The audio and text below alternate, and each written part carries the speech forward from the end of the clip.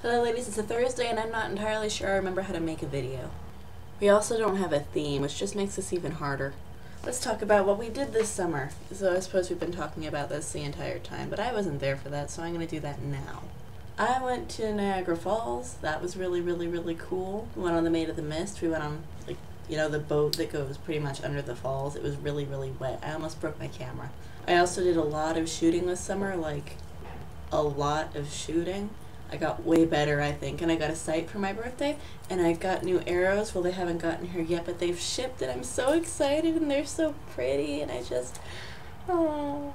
Oh, in case you can't see behind me, that's Joffrey. That's definitely Joffrey. I shot him a lot. It felt good.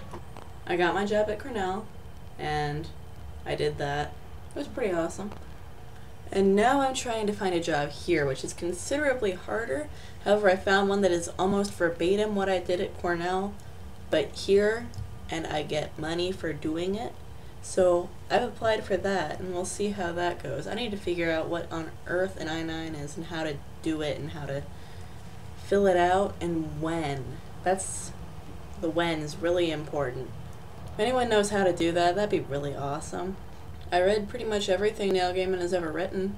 Actually, that's a lie. I didn't finish Sandman. I read most of it, but I still need to finish it, and that is my plan to finish it before the new one comes out. My capacity for speaking English is also greatly degraded over the summer, in case that's not obvious. Oh, I watched a couple episodes of Keeping Up with the Kardashians.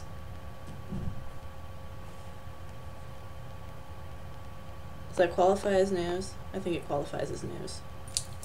I can feel a wisdom tooth coming in way the hell over here. It's very small, but I feel it poking through, and that's kind of terrifying because I haven't been to a dentist in 10 years. Oh, look at my boobs. They say it's funnier in Enochian. And it also says it's funnier in Enochian in Enochian. It's a reference to Supernatural, which you lot should finish watching. Also, this Saturday is the Doctor Who premiere, and I guess I'm going to be streaming it, so you should come watch it even if you haven't caught up yet and then you should go catch up. The moral of the story is that going a really, really long time without talking to a camera makes it just as awkward as it was the first time. Maybe I should give the camera a name. I'm thinking Boris. Boris is a good name. I'm addicted to pancakes. It's a serious problem. Bye!